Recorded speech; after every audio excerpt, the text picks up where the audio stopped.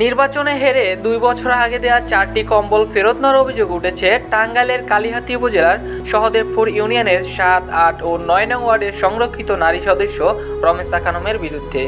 রোববার আঠাশে নভেম্বর অনুষ্ঠিত ইউপি নির্বাচনে পরাজিত হন তিনি। তার স্থানে নির্বাচিত হন জ্যোৎস্না বেগম।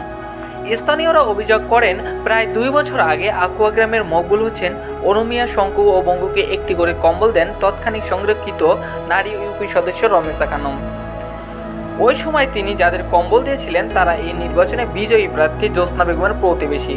নির্বাচনে পরাজিত হওয়ায় রমেশা খানম তাদের কাছ থেকে ওই কম্বলগুলো ফেরত নিয়ে গেছেন। ভুক্তভোগী মকবুল হোসেন জানান, আমাদের চার ভাইকে চারটি কম্বল দিয়েছিলেন রমেশা খানম নির্বাচনে আমাদের পাশের বাড়ি প্রার্থী জ্যোৎস্না বেগমের পক্ষে কাজ করি।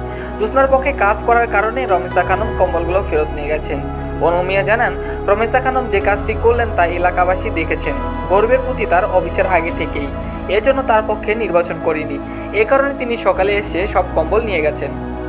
এ বিষয়ে সাবেক ইউপি সদস্য রমেশ একানম জানান, কম্বল ফেরত নেওয়ার মতো কোনো জিনিসই হয়নি। এটা সম্পূর্ণ মিথ্যা কথা। বিরোধীরা আমার বিরুদ্ধে মিথ্যা অপচার চালাচ্ছে।